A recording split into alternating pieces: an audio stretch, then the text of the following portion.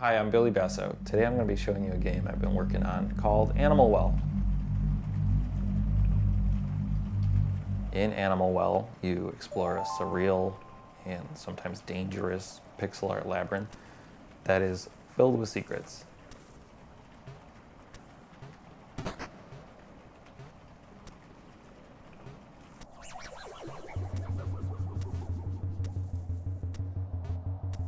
As you explore, you'll encounter uh, various creatures, but it's not always clear if they're friendly or not. So it's best to proceed with some amount of caution.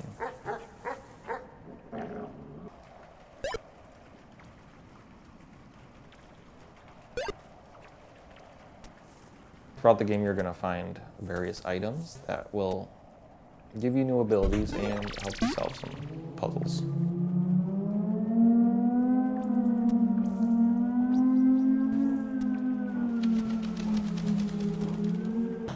Every item in the game has multiple uses, but you're going to have to experiment if you want to figure out what they all are.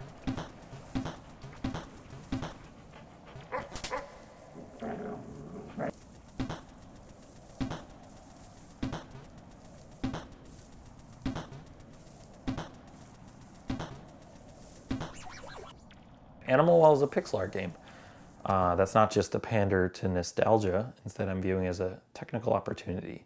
A 4K TV screen has 144 times as many pixels, but that means I have 144 times as much processing power to apply to each pixel. Throughout the game, you'll see a lot of things like fluid sims or dynamic lighting effects that haven't really been used in a pixel art game.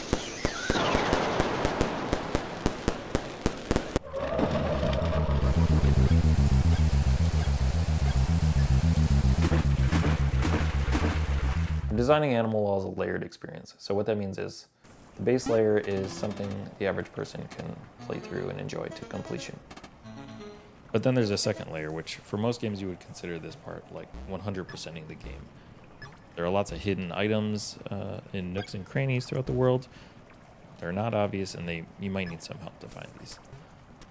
The third layer has puzzles that don't really present themselves as puzzles they might go unnoticed for years potentially, or they might require some community collaboration to solve. Also, there's a there's a puzzle in this video that may require some community collaboration to understand. But the first 10 people to figure it out um, will get a free copy of the game at launch. And then while you're doing that, you could maybe wishlist it. Uh, but yeah, thank you so much.